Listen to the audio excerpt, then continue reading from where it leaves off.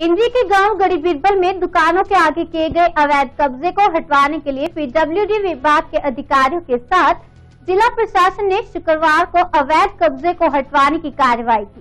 प्रशासन के सहयोग से पीडब्ल्यूडी विभाग के अधिकारियों ने गढ़ बिरबल गाँव में सड़क के साथ बनाए गए दुकानों के आगे शेड व सड़क पर बनाए गए रैंपों को तुड़वाया।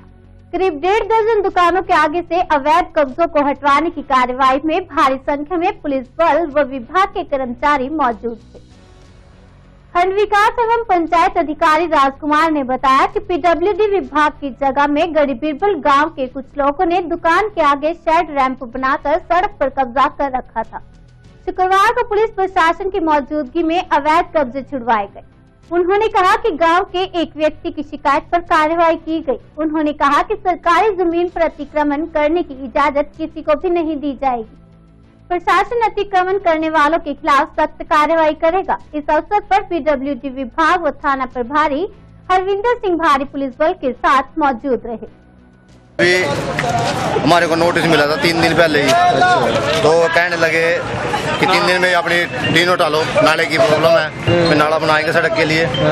तो आज माँ हमने टाइम मांगे इनसे भाई हमारे को पंद्रह मिनट या बीस मिनट दूर दे दो हम अपना सामान उठा के अंदर रख लेंगे। तो ये बोले नहीं इन्होंने टीने पीने उठा के फेंक दी सारी। बस। और नुकसान हमारा वो इतना हो गया बहुत ज़्यादा। ये कितने दिन में तैयार होएगा इसका हमारे को वो चाहिए जो आप एक नोटिस आया जी हमारे पास। इससे पहले कोई नोटिस नहीं आया। इस देने के बाद हमारे पास आया प्रशासन ने हमारे को सिर्फ़ एक बार वादा भेजा है कि नहीं ये अपना सामान उठाओ यहाँ से।